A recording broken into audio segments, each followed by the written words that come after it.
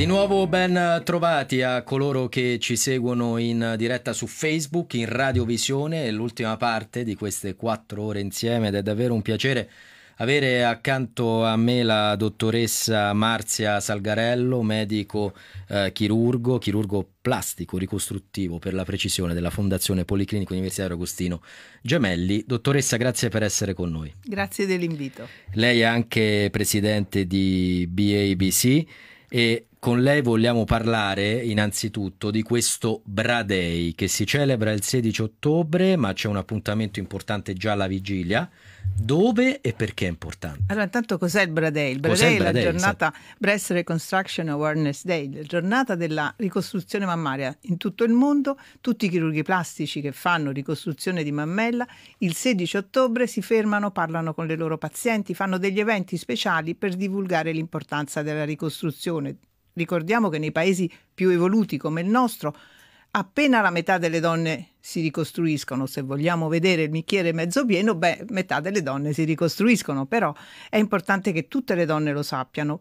E quando ci si ricostruisce? Secondo me quando ci si rivolge a una breast unit, cioè la cura del tumore al seno, e viene meglio se viene fatta nei posti dedicati, dove ci sono delle eh, multidisciplinarietà, c'è il senologo, ma c'è anche il chirurgo plastico, ma c'è l'anatomopatologo, ma c'è anche lo psiconcologo, ma ci sono il radioterapista, tutte le professionalità che si occupano del tumore al seno. In queste breast unit le nostre percentuali di ricostruzione salgono tantissimo. Detto questo, quindi dobbiamo informare le pazienti che c'è la necessità di saperla questa cosa per poterla scegliere. E allora la giornata della ricostruzione è una giornata informativa. Quest'anno il 16 ottobre in tutto il mondo, noi anticipiamo con un pre-evento il pomeriggio del 15 all'Hotel Grand Hotel Plaza, grazie alla generosità della proprietaria, che ci ha offerto di ospitare il nostro evento e lì cosa ci sarà? Ci saranno le donne che parlano, un piccolo talk show le donne che parlano di come hanno vissuto la malattia, come le hanno superata, le difficoltà, ma anche i compagni perché la coppia è molto importante ed è molto fragile in queste occasioni e probabilmente è nella coppia che la donna riesce a trovare un punto di forza oppure perde qualcosa. Andremo subito a parlare del partner, di quanto sia importante il dialogo. Io vi invito a scriverci su Facebook, già alcuni lo fanno, uh, Joe ha scritto e poi Linda ci ringrazia per affrontare eh, questo tema, però vorrei, prima di arrivare appunto all'importanza della ricostruzione, il tema del resto di quest'anno è ricostruirsi, dialogo con le donne, i loro eh, compagni, vorrei chiedergli eh, in quale caso si può effettuare una ricostruzione con protesi, perché l'informazione corretta parte proprio dalla casistica, cioè quando è possibile, quando no, perché dinanzi, lo diciamo prima a microfoni spenti, dottoressa, dinanzi a un dramma è inutile edulcorare, è inutile dire che va tutto bene o che tutto andrà bene, però poi si devono fare le cose bene, si deve conoscere la, l'argomento, partendo da quando è possibile e quando no. Proviamo a dirlo. Bene, la ricostruzione è oggi la ricostruzione immediata, cioè viene fatta subito. Finisce il senologo, leva il seno, ma subito il chirurgo plastico mette la protesi. La protesi o i propri tessuti sono due le modalità ricostruttive. Più frequentemente la protesi perché è una ricostruzione più semplice, ma chi non la può fare, diciamo un 10% dei casi, va per l'utilizzo dei propri tessuti, soprattutto i tessuti addominali, e quindi una specie di autotrapianto. Io ricostruisco con la pancia e miglioro anche la, la forma della mia pancia. Però le, questo si riserva nei casi che hanno fatto radioterapia, casi un po' particolari. Invece la protesi è una ricostruzione facile, specie perché ad oggi la protesi si mette davanti al muscolo, quindi una ricostruzione poco impegnativa, di poco tempo e di risultato naturale. Tutto questa facilità della chirurgia ha facilitato l'accesso, quindi tutte le donne ci possono arrivare è facile, se si rivolgono alle breast unit. Esatto, perché è facile, ma ad esempio il Gemelli sostiene questo costo. Assolutamente. Altre strutture, lo diciamo a chi all'ascolto, no, magari può capitare che dopo essere state sotto i ferri, aver vissuto il dramma della diagnosi, aver superato l'intervento, si va a casa e si dice io non voglio tornare in ospedale in quei casi a chi bisogna rivolgersi? E, e, la paura è che poi abbia voglia di abbandonare e quindi abbandona anche una parte di sé, abbandona una parte della sua femminilità, forse della sua vita, diciamo, sociale oltre che la propria mentale. Quindi bisogna assolutamente pensare che la ricostruzione immediata va risolta subito, va scelta. E poi per chi non ce la fa o che non la può fare, sono pochissimi casi, si può fare anche dopo, si chiama ricostruzione differita, ci si rivolge ai grandi centri di chirurgia plastica del territorio nazionale, facciamo tutti la ricostruzione anche in un secondo momento e si chiama differita. Qui a Radio Vaticana con voi ci piace eh, accogliere in studio medici, donne, uomini di scienza, perché uno dei tentativi è sì è divulgativo, quindi spiegare bene le cose, ma anche combattere le fake news. Allora, dottoressa, chi dice ma le protesi non sono sicure, ma poi le devo controllare ogni mese? Vogliamo parlare della sicurezza e dei controlli in maniera però eh, reale, non per sentito dire? Certo, allora le protesi sono un manufatto che viene dall'industria, sono un corpo estraneo per l'organismo, per quello io dicevo prima ci sono anche i propri tessuti che chiaramente una volta trasferiti con l'autotrapianto invecchieranno con la paziente. La protesi invecchia con un po' più di difficoltà insieme con la paziente, rimane sempre qualcosa di un pochino più fermo. Però questa protesi davanti al muscolo è molto più facile che abbia un decorso simile ai propri tessuti, proprio perché è una posizione più fisiologica. Cosa si fa? Poi ogni anno si fa un'ecografia per controllare lo stato della protesi, proprio perché è un manufatto dell'industria non sarà, e non biologico, non sarà per tutta la vita, ma anche se fosse 10-20 anni va bene, la, la cambieremo.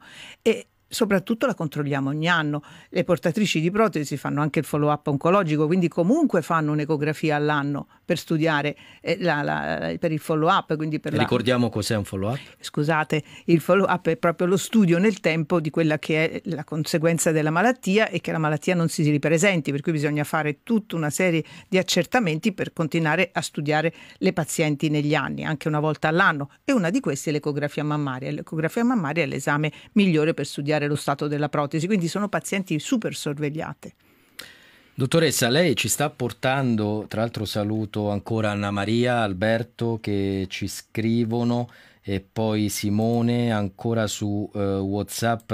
Eh, arriva un messaggio da Antonia, ciao Antonia, che scrive ho subito questo intervento, mi sono sentita subito sola e smarrita, poi nel tempo sono arrivata ad una consapevolezza. Il T9 ti ha scritto male la parola consapevolezza. Ecco, la dimensione del tempo non è tutto subito, non è detto che io abbia le tempistiche di una mia amica nell'uscire Vero da eh, uno, uno, shock. È giusto che sia soggettiva la tempistica è di giusto, risposta? È giustissimo ed è anche giusto accompagnarla in questo perché è molto difficile uscire da una loop negativa come è l'affrontare un tumore per qualsiasi sede del tumore, per qualsiasi persona. E proprio per questo l'evento di quest'anno, Ricostruirsi, vuole presentare attraverso due piccoli talk show con prima le signore, prima le pazienti e poi i compagni delle pazienti, quindi anche studiare la vita di coppia, come cambia, come può essere d'aiuto. Tutto questo studiare questo come ricostruirsi fa parte della mission della nostra ONLUS che si chiama appunto BABC, cioè Beautiful After Breast Cancer e che ogni anno dedica un progetto di punta, un progetto che si chiama Donna per Donna e sono tutte eh, chirurghe plastiche e senologhe, un centinaio che insieme si riuniscono e cercano di mettere sulla carta quali sono le domande che ricevono per aiutare le pazienti. Quest'anno il nostro opuscolo che si chiama La Nuova Me e che sarà distribuito in tutti gli ambulatori di senologia e di chirurgia plastica dice proprio questo, raccoglie le domande di chi torna a casa e ora che faccio? Mi posso lavare? Come? Come mi posso muovere? Posso mettere il reggiseno? Quale è il reggiseno? Che faccio con mio marito? L'igiene intima? Ecco, tutte queste cose saranno affrontate. Ci hanno aiutato i fisioterapisti, le psiconcologhe, le sessuologhe, tanti aiuti da tanti medici che si sono voluti unire a noi. Donna per Donna è davvero un progetto secondo noi importante, soprattutto quest'anno in cui è ancora più pratico. E noi vi ringraziamo per questa praticità che attiene alla divulgazione eh, appunto eh, scientifica. In queste quattro ore ogni mattina, dottoressa, lo sa chi ci segue, noi diamo anche delle notizie che non vorremmo dare. Dobbiamo parlare di conflitti armati, di guerre, di ciò che non va e dovrebbe andare in maniera diversa. Lei però ci sta mostrando, viceversa, una strada che mi sembra vede una serie di progressi compiuti di recente. Possiamo dirlo che la ricerca funziona, che la medicina merita degli incentivi maggiori, che le risorse spese per, sono ben spese, sono ben spese. che cioè, il sistema sanitario funziona, che ci, sono, che ci, sono, delle breast unit in tutto il territorio nazionale che davvero funzionano, che cercano di umanizzare la medicina perché non siano solo numeri ma anche assistenza vera tutto questo è quotidiano per noi, perlomeno a Policlinico Gemelli, ma io ho colleghe da tutto il, tutto il territorio nazionale che hanno la stessa dedizione e mi raccontano le stesse storie di aiuto, di passione, di stare dalla parte dei pazienti. Credo che questo sia il messaggio. Le, il sistema sanitario nazionale, ma soprattutto i medici, sono dalla parte dei pazienti e questo diciamo la dice lunga su quello che sta accadendo anche su altri fronti nei confronti dei medici in questa difficile fase del nostro sistema sanitario nazionale.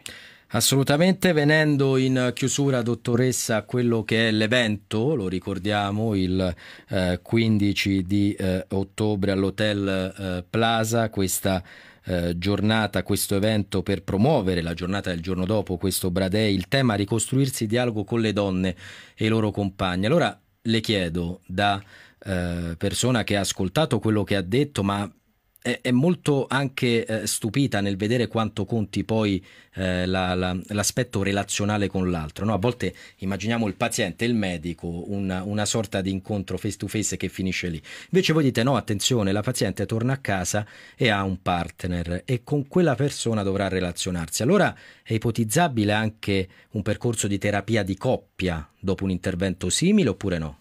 Perché no? Sarebbe, sarebbe, auspicabile, probabilmente la potremo dopo l'evento, perché noi siamo anche noi curiosi di sapere cosa verrà fuori da questi piccoli talk show in cui cerchiamo di capire veramente dalla voce delle persone di che cosa hanno bisogno, qualche cosa, qualche risposta più fattiva, che ad esempio le psiconcologhe si potrebbero impegnare nell'organizzare delle terapie di coppia, tutte cose che possono aiutare perché, attenzione, c'è un tentativo di scappare dall'altra parte se non sei fortemente motivato a stare insieme.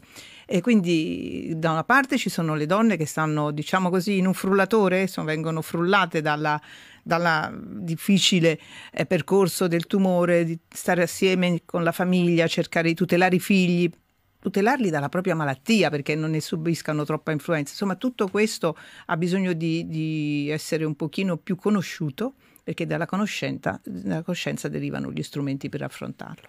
Grazie allora alla dottoressa Marzia Salgarello, ricordo l'appuntamento il 15 ottobre all'Hotel Plaza a Roma, vogliamo però dare anche qualche sito di riferimento, qualche modo per restare in contatto, chi vuole saperne di più o chi viceversa no. si trova in una condizione che vuole rivolgersi a voi. Allora, innanzitutto il sito di Donna per Donna. Possiamo per... anche guardare dottoressa in quella camera. Sì, prima di tutto il sito Donna per Donna www www.donnaperdonna.it. Qui ci sono le brochure che riguardano appunto i progetti di questi cinque anni, una volta è la radioterapia, una volta la, come viene fatta la ricostruzione e quest'anno appunto la nuova me. E poi c'è eh, ovviamente tutte le breast unit hanno modo di, di, avere un accesso personalizzato e poi c'è il nostro sito Beautiful After Breast Cancer Italia Onlus eh, www e quindi andate a prendere le informazioni e contattateci. Grazie ancora dottoressa, grazie a voi che ci avete seguito, torniamo tra un attimo in radio.